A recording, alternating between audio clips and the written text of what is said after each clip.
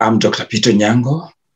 Welcome, viewers, to International Human Rights Law lecture series divided into different sections coded as IHRL. We begin with the introduction, that is 001. This course is going to be dedicated to Professor Wangari Maathai, a Kenyan born Nobel Prize winner who lived between 1940 and 2011 when she succumbed to the call of nature. Wangari Maathai stands tall in her outstanding defense for the environmental rights, the third generation of rights, the right to healthy environment. And she has been selected deliberately to stand out for this particular cause. Let me give you a quick course overview. The overview is uh, beginning by saying that, as demonstrated, the course is going to be presented using PowerPoint slides. And under the slide, you can read with me and you can follow the sections under our debate just to give it a kind of systematic approach. The education of law, of international human rights law, must be structured, organized, systematic, and done in a way that is very comprehensive. And that is what I'm out to do. First and foremost, after the dedication of this lecture to Professor Wangari Maathai, I would like to begin by giving an overtone of international human rights as the rapidly developing part of the public international law. And today it has actually spread out to all conversations around the public international law, the public institutions, government institutions, private institutions, but also civil society organizations, or if you wish, by extension, the international community at large. The course itself must have the following objectives. The first objective should be familiarization with the terminologies that are used for the international human rights law, the concepts behind it, the ideas, and also the history behind the human rights law. That one gives us, again, uh, another aspect that is the philosophy behind it, the jurisprudence behind it, but also another objective to understand the significance of international human rights law and the significance of human rights jurisprudence, justice system, and also to understand the importance of having human rights law at the global aspect in the following three levels international level that is micromanaged under the United Nations organizations, United Nations system, United Nations law, United Nations specialized bodies, and uh, the treaty bodies and institutions and organs under the Charter of the United Nations, but also at the regional level. Different regions, for instance, African Union, which used to be called Organization of African Unity, but also the other regions like the European region, the European Union, the Council of Europe, the European Convention of Human Rights, but also the Organization of the American States, OAS, Mercosur in South America, as well as ASEAN in Asiatic continent. From the regional level, the third one, we see it in the context of the national level. Those are the domestic laws. However, still, we can only fit well when we look at this discourse academically, focusing our attention to the recommended reading materials. Because law is part and parcel of the knowledge that must be backed by informed analysis, by literature, by documentations, records, and scholarly publications that inform us of certain theories of the jurisprudence and the philosophy behind international human rights law. This is uh, good for your consumption, and rapidly we need to begin in earnest by demonstrating the typology of human rights by a famous jurist, most pronounced in different conversations of, of human rights, Professor Karel Vasak, a Czech who worked for the UNESCO and in 1979 came up with the three generational theory as a strategy to approach the knowledge of human rights law and the very understanding of human rights law. Let us again join uh, Professor Vasak in this support to understand uh, the understanding of human rights, beginning with the principles adopted by the French Revolution in 1789, beginning with liberty, equality, then fraternity. So, beginning with that, we start with the illustration of the first theory. That is theory number one, known as the first generation of rights, civil and political rights. This one represents liberté, liberty, freedom. And these are rights attached to individuals, individual rights. Generation number two is related to economic, social, and cultural rights. These are the so called second generation of rights that actually spells out the concept of equality, égalité in French.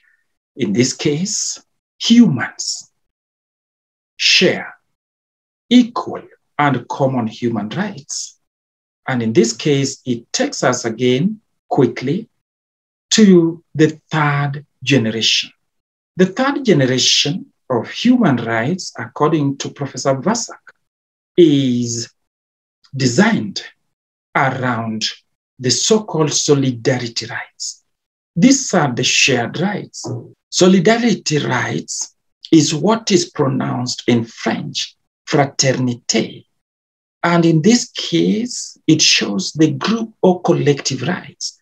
These are rights, obviously, that spell out the shared rights, our shared commonalities, such as the shared environment, and all those areas that we appear first to be sharing. These are rights, for instance, to self determination of the people. Second, their rights, for instance, to, um, let us say, the economic and social uh, development, the natural resources are to be shared among humans. Then, when we talk of the environmental uh, uh, natural resources, we look at the air, we share the air. We look at land, we share land, but also we look at water, we share water. But all in all, these are bringing us to those rights that are considered collective or group rights, like what in Africa is always referred to as communal rights, things that we share in our vicinity. If you refer yourself to the African communalism, these are the community rights and uh, they are rights that people share in terms of cultural heritages. Let us move on because this typology of rights can again move from the three ones that were proposed by Professor Vasak to the fourth one, but probably also the fifth category of rights. And that one is a subject for a different discussion altogether. Let's move forward to look at the elements of, the, of a theory of human rights by a writer, Amartya Sen, from India, I guess. Number one is the concern about human person as the basic possessor of the basic rights we are talking about, the fundamental rights. Human rights as articulated, for instance, in the ethical discourse, creates what we call ethical demands more than proto-legal or paralegal or legal commands. Another point here that Amartya raises, raises is the fundamental freedom. When we talk about fundamental freedom, then we are talking of the very freedom that informs the basis of the fundamental basic human rights we are talking about, which of course point at the dignity of human persons. That is our humanity. Another point here is about the equality principle. Equality principle is uh, very key to our discourse as a concept of human rights insofar as equality serves the understanding of the human rights that are considered in their very nature as equal in portion, equal in proportion, equal in sizes, and equal in kinds. We cannot therefore claim that somebody has more human rights than other, or somebody has got a bigger size of human rights than another person. That is what we mean by equality of rights. And in that sense, we move to the other important concept that propels us to the holistic understanding of human rights jurisprudence, that is non-discrimination principle. And in definition, human rights emerge from this principle which forms the foundation of its development, that discrimination is not allowed in the international human rights law. And anything, any behavior, any conduct, or any policy that shall be regarded as discriminative actually is abolished. It's a violation this is what brings us also to the question of inclusivity as opposed to exclusivity. Another concept that we want to look at here under Amartya Sen's article is framed around the concept that it is the government to be in charge of the protection and respect for human rights individual rights, group rights, and collective rights. So the human rights law, human rights law, sorry, is seen as a, a legal framework that seeks to regulate the relationship between the government and citizens or the sovereign and the subjects, because this is where problems begin when governments tend to restrict the fundamental freedoms of the individuals, but also tend to oppress the individuals or maybe infringe on their access to enjoyment of such rights. Naturally, this one moves us to another great approach to this study. The approach to this study is about the understanding of the nature of human rights. What are they? And why are they so unique and different from other rights? The reason is number one, they are universal. Universal means they belong to all of us, inalienable. They cannot be removed from an individual. One should not or cannot be deprived of such rights. And that is what number two stands out to spell out. Number three is they are equal. People possess them in equal measure. Nothing more, nothing less. Number four, they're indivisible. They cannot be divided. Number five, they cannot be delegated. One cannot claim to have the human rights of his or her father or his or her mother or of his or her boss. And in this case, it moves us to item number six. They belong by right to the individuals. That is what we call by nature. They are natural rights. They are within the nature. And number seven is putting this natural aspect or, or the aspect that attributes to human rights as innate, inborn, and also they are intrinsic in the nature of humans, and without which the word human will not exist. And here there are allotments, there are endow- endowments that individuals have nothing to do about them other than enjoyment. From uh, this approach, we can look at the characteristics of human rights. The characteristics, number one, they're abstract ideas, and there's no doubt about that. Number two, they are claims that people make. They're not awards because they cannot be given by any authority on earth, neither by the biological parents. Number three, their entitlements, endowments and number four, of course, what remains is to enjoy them.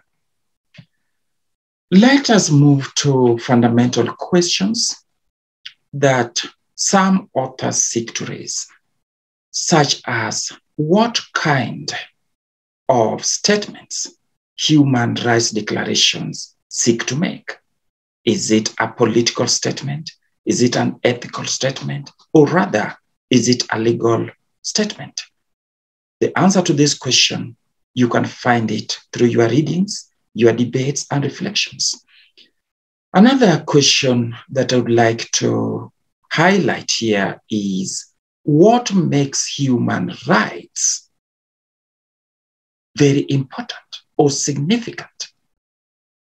These are what I would call guiding questions for this course and for this material lecture.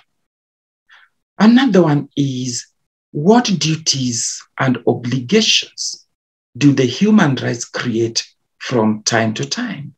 Because it is from here we can now understand human rights as within the legal infrastructures it is law that gives human rights its flesh.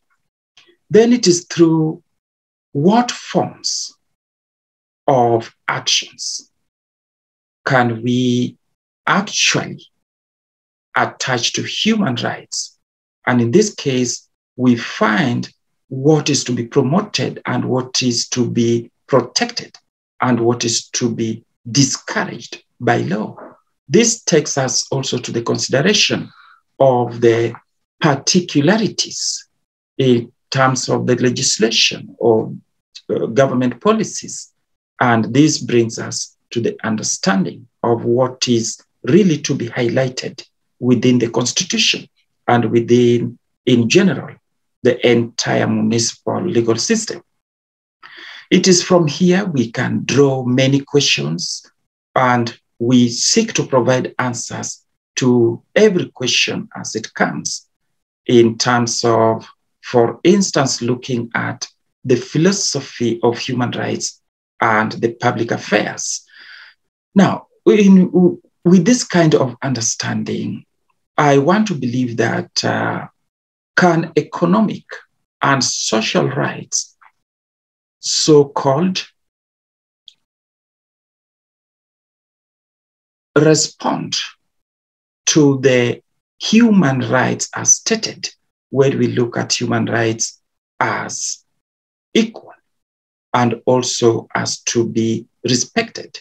So these are what we want to understand in terms of reasonableness and also in, in terms of equal sharing, respect for the fundamental freedom and uh, the dignity of human beings, the worth of human beings, the value, and also the question of avoiding every circumstance that might compromise human rights and the fundamental freedoms of individuals and groups.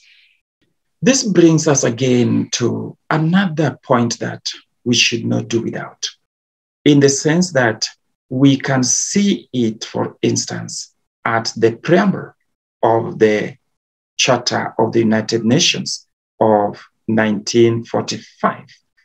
The charter begins in earnest with the following quote We, the people of the United Nations, determined to save succeeding generations from the scourge of war, which twice in our lifetime has brought untold sorrow to mankind, and to reaffirm faith in fundamental human rights, in the dignity and worth of the human person. This is a very weighty statement that opens this important charter that has created the United Nations organization. From this approach, we find also that there must be some historical background. But this historical background is not free from contestations. However, still, history serves as well that once upon a time wars took place. Some of those wars have been defined as world wars. Once upon a time, humans were using other humans as means to achieve their livelihood. That is slavery. Once upon a time, there was slave trade. But do we see those things happening today? Of course we do. So they have not ended. Wars have never ended. And humans keep on maiming other humans, even destroying their livelihood. We have just woken up in the eve of 2022 with Russia attacking Ukraine against the spirit and letter of the United Nations Charter. That is a sign that we are not far from abolishing all types of behavior that would compromise human rights in the world. And that also gives us the purpose for which we need to indulge our attention into the research, the study, and the learning of the international human rights law.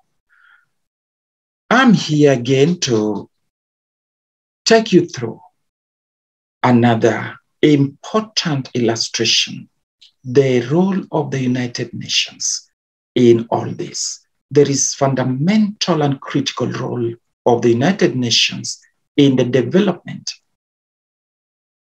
and progressive qualification of the human rights. And that is actually seen in the works of ECOSOC as one of the principal organs of the United Nations. ECOSOC, that is Economic and Social Council, which has created the Commission, the Office of the High Commissioner of Human Rights that sits in Geneva. And uh, under the leadership of the Secretary General Kofi Annan, the late, Dr. Kofi Annan was behind the advancement of human rights development. And during his time in the year 2006, Human Rights Commission was changed to Human Rights Council to give it the impact expected. And the council is expected to carry out periodic review and come up with mechanisms for its enforcement and implementation around the world. This has not been so easy, though. You can find a lot of information from the official website of ohchr.org.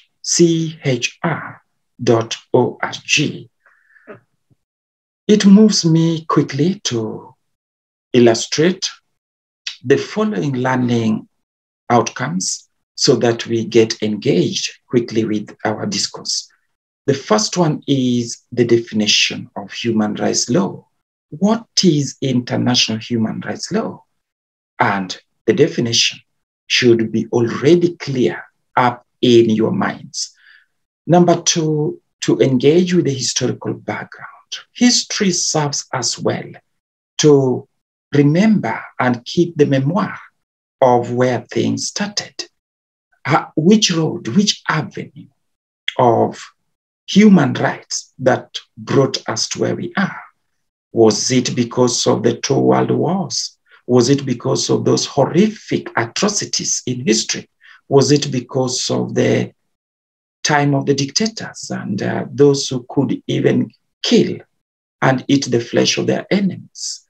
Was it the time of slave trade and the massive trafficking of humans across the Atlantic and Pacific to the other part of the world against their will?